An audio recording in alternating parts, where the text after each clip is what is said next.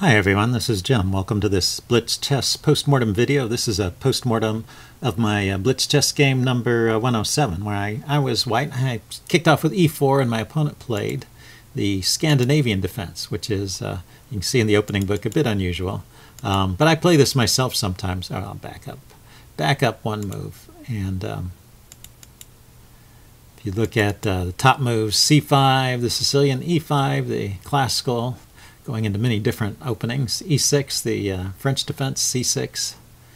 The uh, Caro-Kann, D6, that's a modern defense, knight F6, the Alekhines defense. And uh, G6 even, all more popular than D5. But D5 is uh, quite playable. And uh, I usually play the line after takes, which is the most common move. I usually play the line with knight F6, the second choice here. Um, you get to recapture the pawn with the knight, and you get a good position. If black tries to hold on to that pawn with a move like um, c4, you undermine it with the c6, and it's a, a good gambit. You, you, get a lot of play for the gambit. Um, but you, you, can just grab it right away, so you're not down material. You just lose the tempo on the queen. And usually the queen goes to a5. Um, queen to d6 is also a popular move, it looks like. And queen d8 is the third choice here, not so common. And um, I play h3, which is an unusual move. Um, but if you look at the evaluation from a uh, chess engine perspective, it's not an awful move. It's a little bit slow. Uh, so anyway, I'm out of the book after h3, so let's just look at the notation tab. Um, because queen d8 is not the, the best move here, I get I get quite a good position out of the opening, even with a move like h3 thrown in. Um, you can see this evaluation pretty strongly favors white. This is more, more than the usual opening advantage. And I'm just making normal uh, developing moves here.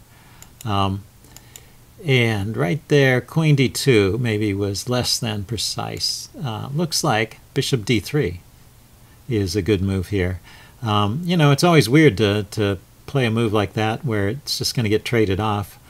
But uh, he's wasted a move developing the bishop and setting up this pawn triangle. So if you waste a move developing your bishop and then they get traded, um, it's uh, you're you're sort of even in terms of development. And remember, he wasted moves with his queen. So after that trade, if you play bishop to uh, d3 and he takes and you take, uh, you've got three pieces developed plus the queen, and he's only got one piece developed. And you have a pawn in the center, and his pieces are uh, his pawns are claiming less space. So that would be um, the best way to play bishop d3 there. Um, but the way I play, you know, it's not uh, not like it's losing. It's just giving away some of that advantage. Um, when he trades, though, uh, we get back into that situation. It says uh, knight e4 is the best move here. Yeah, I get into trouble with the knight e4 type move. Um, in fact, that was what I was afraid of was knight e4. Uh, that's why I put the bishop there. I wasn't particularly trying to trade that bishop. I just needed to stop knight e4. And they end up putting the knight on d5. And now um, I need to play the bishop back to d2 to keep my edge. See, I still have a decent edge here. But I played the bishop to g3. The bishop was under attack by the knight, so didn't need to do that. I wasn't worried about the exchange here. That's in my favor. Um, but there's an interesting moment coming up here. And uh, I was leaving the chess engine on for this. I guess I could have tried to turn into a tactical quiz, but there was a lot of lot of points I wanted to look at in this game with the engine, so uh, I'm just going to leave it on. So after queen a5, it's about even. And um, I castle, which is one of the top moves here. It looks like I have no choice but to give up a pawn here. But uh, what's funny is that uh, the natural move knight takes c3 is a mistake. And watch this. I take back, and he takes back, and now the evaluation suddenly is uh, very strongly in favor of white. It says I should play rook a to b1, which I did. It's a natural move, putting on the open file, hitting a loose pawn. And he plays the move b5, and... Um, now it says, um, yeah, bishop takes b8. This is, this is the tactic I missed. So what's up with bishop takes b8? Or even a4. So all these moves, uh, or rook b3. I was thinking about rook b3, but I thought he would just advance the pawn. Rook b3, bishop b4. Yeah, it's hard to see what the advantage was. But um, so let's let's follow this line with a4. That that worked out to be the top move after a while. Um, you might think, well, uh, can't white? First of all, he can't take with the queen because the queen's defending the bishop, right? So that's that's straightforward. But what if he takes with the pawn? This is what I missed. Um, the rook and the bishop are concentrating on that square, so this loses a piece. so if he can't take that pawn, uh, what can he do? He can't move the queen anywhere because he needs to stay defending the bishop. Um, the engine recommends just developing with knight d7. And then I can grab this pawn. And uh, what, rook c8? If he tries to take back, what's wrong with just taking back? Oh, it loses the pawn. Yeah, I can just play rook takes b5 and harass the queen and maybe even pick up this bishop. So he can't take back. so rook c8, uh, getting in position to defend the, the bishop.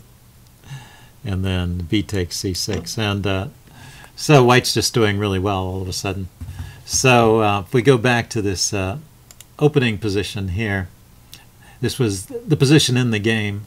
Um, I need to recognize that there's a threat here on the knight as well as this threat on the bishop.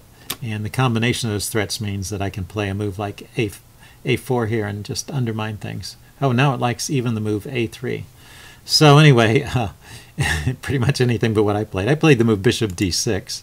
And, uh, well, I still have a pretty good advantage through here. So, uh, and he plays b4. And once again, there's this uh, tactic.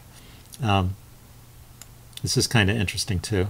I take here, he takes, and then I can just take the bishop. Because if he takes the queen, which is the best move, check. King goes here, check, and I've got uh, two rooks and a knight against a queen. So uh, that's material up. Two rooks are roughly equivalent to a, a queen, and then I've also got a knight. So uh, he gets a pawn or two for his trouble. But uh, yeah, so that, that was uh, doubly a double chance. I had that chance twice. I missed it both times. Sort of the same idea, just taking advantage of this uh, B8 square and the triangulation of these pieces. Um, so I thought that was interesting.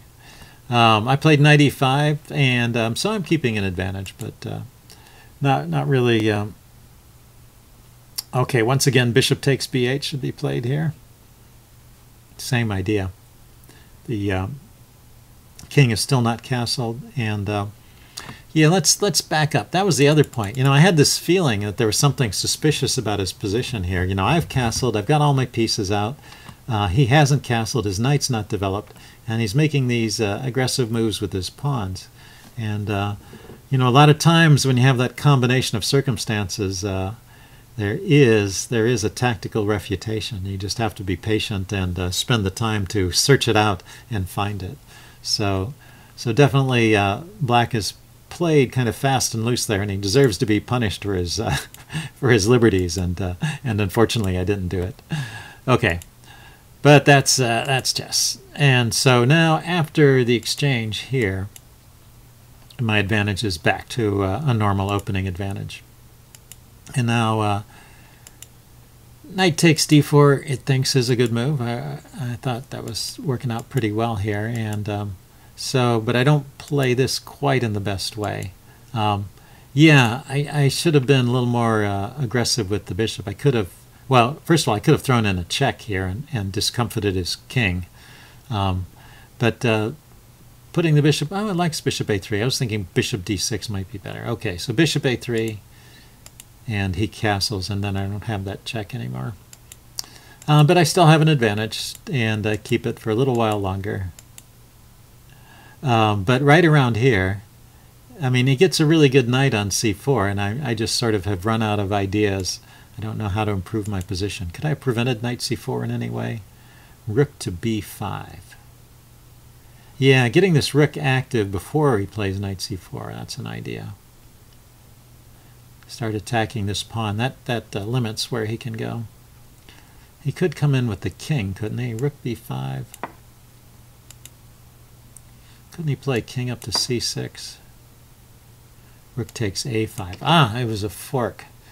I mean, it's not exactly a fork, but um, I was increasing the pressure on the e-pawn, which is still adequately defended, but also attacking the uh, a-pawn.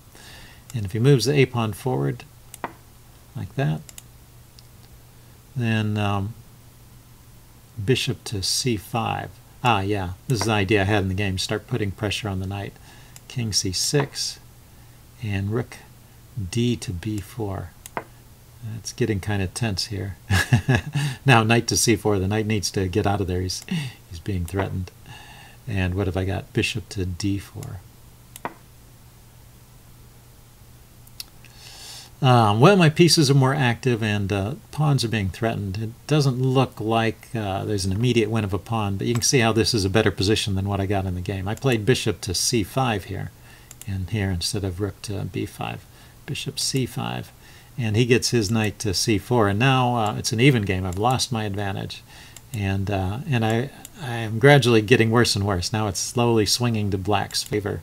Um, because I, just don't have a plan. And when you start moving planlessly, uh, and I was getting low on time at this point. Anyway, yeah, you start just pushing the wood around, um, and your opponent still has time in his thinking. Then uh, it's often a recipe for disaster. Your position just slowly goes downhill, and that's what happened here. And now, uh, yeah, with that rook with that rook uh, b4 move, it looks like that was the final straw. Rook a1, you know, that's a very joyless kind of position, just hopelessly defending that pawn and your pieces are all tied up. So I tried to play actively, but uh, it turns out that is just losing. I'm too slow. I get some counterplay, but um, it's just not fast enough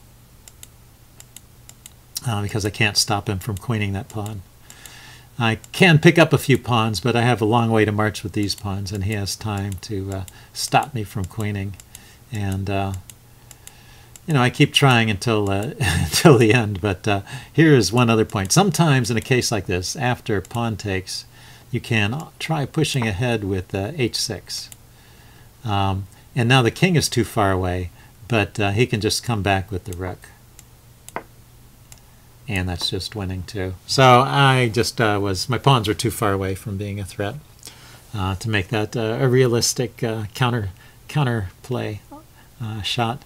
So uh, anyway, as it was, I, I, took and he moved his king over there, and then I resigned at this point. So I uh, hope you guys got something out of that. Leave any comments you have in the section below, and I will see you again later. Bye.